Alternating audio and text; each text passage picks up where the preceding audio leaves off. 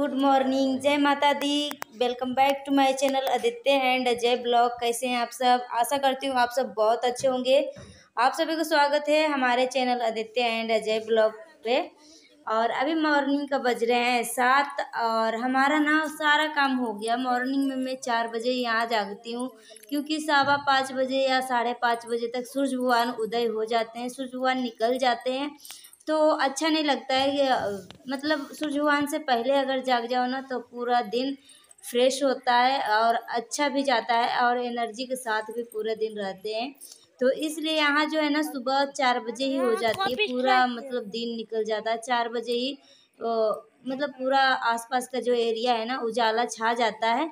तो बस चार बजे ही उठी थी और बस साफ़ सफ़ाई करके और घर में झाड़ू पोछा लगाई फिर घर को मैंने धोया, बाहर के एरिया को आउटडोर को मैंने धो दिया था। और उसके बाद नहा धो के फिर मैं चल गई थी मार्केट सुबह सुबह, मैं और मेरे हस्बैंड हम दोनों।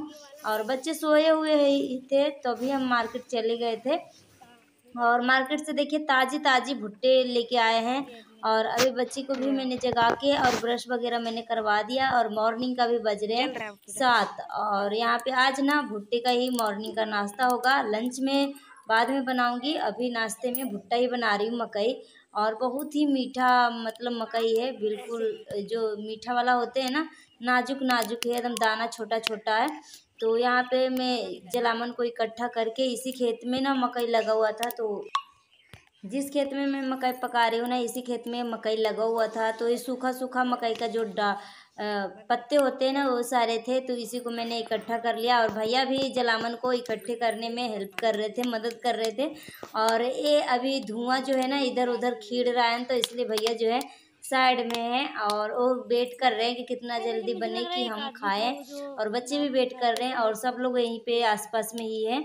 और बस जल्दी जल्दी मैं पका लेती हूँ और बहुत ही एकदम टेस्टी मकई बनती है।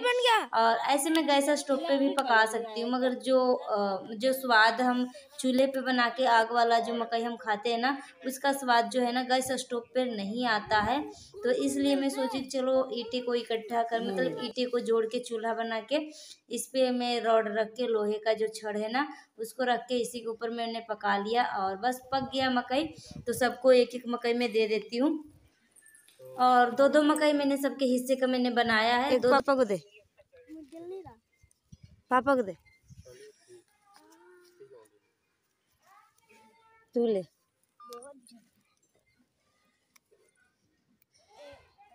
नमक बोलना पड़ेगा। पहले साफ़ करना पड़ेगा इसको ऐसे। तो यहाँ पे मकई को ना पकने के बाद इसको कपड़े से मैंने साफ़ करके सबको दे रही हूँ। हस्बैंड बोल रहे हैं कि सबको साफ़ करके दो। तो मैं पहले ही कपड़ा लेके आई थी उनको पता नहीं था तो बोल रहे थे कि साफ़ करके खाना क्योंकि इसके ऊपर जब हम जलामन से इस तरीके से पकाते हैं ना तो कालिक हो जाती है तो इसलिए साफ़ करके खाना चाहिए। तो साफ़ करके मैं कपड़े से साफ़ करके ही मैं सबको दे रही हूँ और इधर हस्बैंड कुर्सी पे बैठे हुए हैं।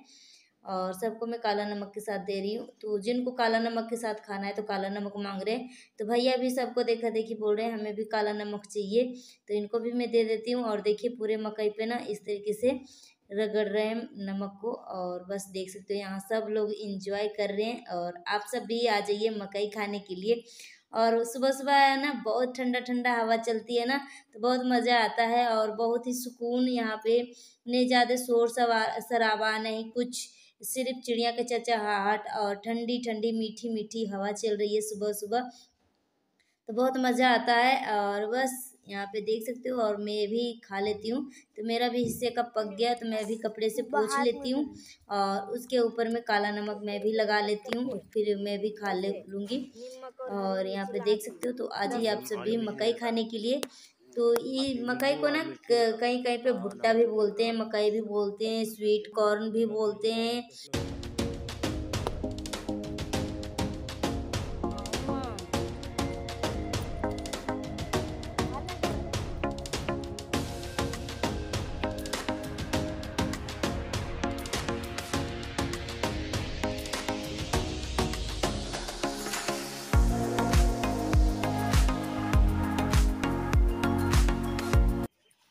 बस हम सब इंजॉय कर रहे हैं और आप सब भी आ जाइए मकई खाने के लिए और यहाँ पे भैया ऐसे हलवो में करवा रही थी और देख सकते हो मेरे आसपास का एरिया कितना हरा भरा है और कभी कभी बहुत दूर में धीमी धीमी कभी कभी ट्रेन की भी आवाज़ यहाँ आती है।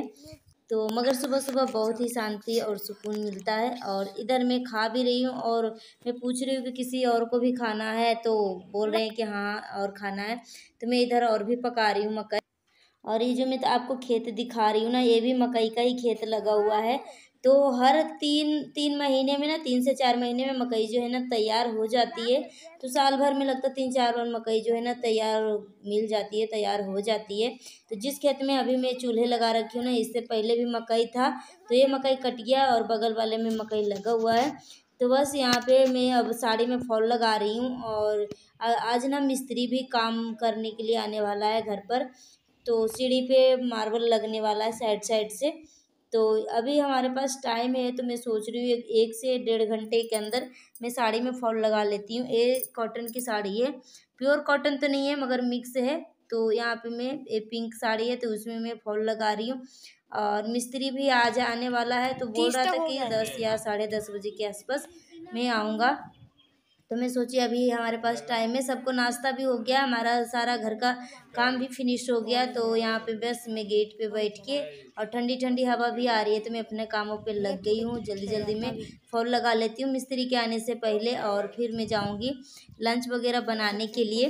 तो यहाँ पे देख सकते हो नीचे से ना साड़ी में साड़ी में नीचे से ना अथी क्या बोलते हैं टाका डालते हैं महीन महीन छोटा छोटा बारीक किसी ज़्यादा मोटा मोटा नहीं एकदम महीन महीन।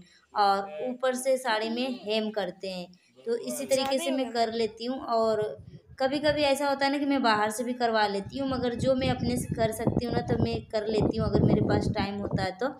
तो बस साड़ी में फॉल तो लग गया, मगर मैं आपको दिखा नहीं पाई। और यहाँ पे देखिए मार्बल भी आ गया था और वे मिस्त्री भी आ गए थे तो अपने अपने कामों में लग गए हैं। तो यहाँ पे मिस्त्री जी मार्बल को काट काट के साइड साइड से सेट करते जा रहे हैं। और बाहर में देखिए तो मैं दिखा रही हूँ कि पत्थर को बाहर में ही काटा जा रहा है। जो बाहर का एरिया है ना, थोड़ा सा इस पर रेत बिछा के और पत्थर को काटते हैं और यहाँ पे देख सकते हो काट काट के यहाँ पे लगा रहे हैं। और यहाँ भी पत्थर की कटाई हो रही है। थोड़ी थोड़ी जो सेप वाली होते हैं ना मतलब छोटे मोटे कटाई यहाँ पर हो रही है। जो बड़े बड़े पत्थर हैं, बाहर में कटाई हो रही है बड़े बड़े पत्थर की। तो यहाँ पे मैं लंच भी बना रही हूँ। तो लंच में बनने जा रहा है दाल, चावल, कुंदरी की भुंजिया और नेनुआ की सब्ज़ी, यानी परोर की सब्ज़ी। तो बहुत जगह इसको नेनुआ भी बोलते हैं, तोरी भी बोलते हैं, परोर भी बोलते हैं। तो वही बनने जा रहा है। तो यहाँ पे बस सब लोग अपने अपने कामों पे लगे हुए हैं। तो मिस्त्री जी यहाँ पे इधर सेट कर रहे हैं और इधर मैं किचन में अपना लंच भी बना रही हूँ। और उसके बाद जब काम ख़त्म हो जाएगा तो फिर मुझे घर का साफ़ सफ़ाई भी करना पड़ेगा। तो यहाँ पे देख सकते हो थोड़ा सा यहाँ से कटाई हो रही थी ना तो मैं सोची चलो आप सबको दिखा देती हूँ कैसे कटता है? तो यहाँ पे देखिए छोटा सा पतला सा पाइप है। इससे ना पानी गिर गिराते हैं और इस तरीके से पत्थर को काटते हैं। अगर पानी गिरा के पत्थर को नहीं काटेंगे ना, एक तो धूल मिट्टी बहुत ज़्यादा इससे उड़ेगी और ऊपर से आग भी निकलती है चिंगारी। तो इसलिए छोटा सा पाइप से पतला सा पाइप है, उससे hello everyone welcome back to my channel Aditya and Ajay blog कैसे हैं आप सब? आशा करती हूँ आप सब बहुत अच्छे होंगे। तो अभी देखिए बच्चे सोए हुए हैं और सामान भी बिखरा हुआ है। आज घर में ना काम हो रहा है। टाइल्स लग रहे हैं। उस साइड साइड में वो मार्बल नहीं लगा था तो अभी आज कंप्लीट हो रहा है। बहुत ज़्यादा ही शोर शराबा हो रहा है तो इसलिए हम अंदर हैं और खाना वाना सबका हो गया है तो किचन का दरवाज़ा लगा देती हूँ।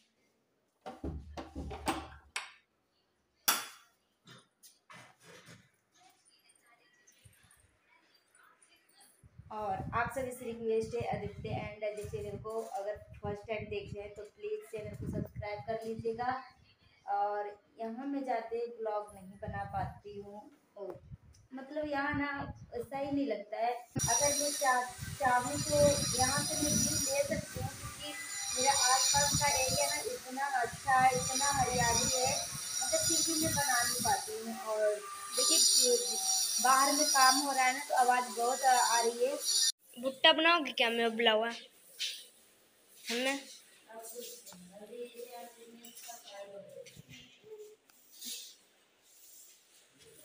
तो अभी काम ख़त्म हो गया है और उसके बाद मिस्त्री चला भी गया है तो मैं अपने कामों पे लग गई हूँ, झाड़ू लगा रही हूँ सब जगह।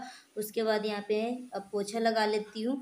और मॉर्निंग में मैं भुट्टा बनाई थी तो वही बच्चे बोल रहे थे कि, मम्मी, क्या अभी शाम को भी भुट्टा बनाओगे क्या? तो बस यहाँ पे घर का साफ़ सफ़ाई करने के बाद बाहर में भी काम उम हुए थे तो पूरा धूल मिट्टी थे तो बाहर के जो आउटडोर है ना, उसको मैं पानी डाल के अच्छे से मैं धो देती हूँ, क्योंकि जब पैरों में किन किन किन किन चिपकता है ना मतलब धूल मिट्टी तो मुझे बड़ा अजीब से लगता है, मुझे अच्छा नहीं लगता। है तो यहाँ पे बस अच्छे से पानी डाल के मैं धो देती हूँ पूरे जगह को। और उसके बाद फिर मैं जाऊँगी नहाने के लिए और गर्मी भी बहुत ज़्यादा हो रहे हैं और हवा भी चल रहा है तो इतना फ़र्क नहीं पड़ता मगर जब हम काम करते हैं ना तो बहुत ज़्यादा ही गर्मी लगती है। उसके बाद रात हो गई है और सबका ना खाना हो गया डिनर हो गया तो भैया को मैं अभी दवाई दे रही हूँ तो बस इस ब्लॉग को मैं करती हूँ यहीं पे एंड आशा करती हूँ आपको आज की ब्लॉग पसंद आई होगी। नए हैं तो प्लीज़ सब्सक्राइब कर लीजिएगा। मिलती हूँ नेक्स्ट वीडियो में। Bye bye thank you take care